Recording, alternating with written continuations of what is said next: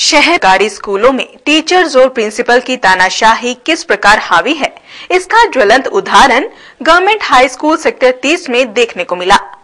जब यहाँ की प्रिंसिपल ने अपनी तानाशाही दिखाते हुए छह महीने से रेगुलर पढ़ रहे पांचवी क्लास के दो बच्चों को 25 जनवरी को स्कूल से यह कहकर बाहर निकाल दिया कि तुम्हारा एडमिशन ही नहीं हुआ।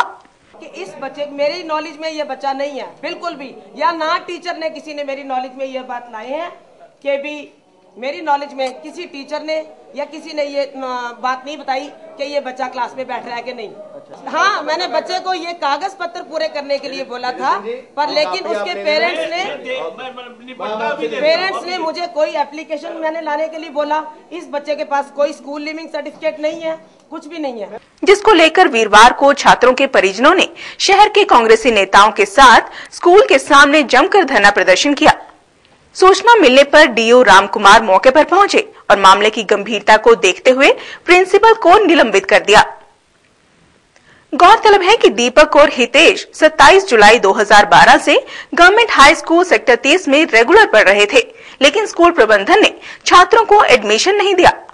25 जनवरी 2013 को प्रिंसिपल सतीश कक्कर ने अचानक दोनों बच्चों को यह कहते हुए स्कूल से बाहर निकाल दिया कि तुम्हारा एडमिशन नहीं हुआ है।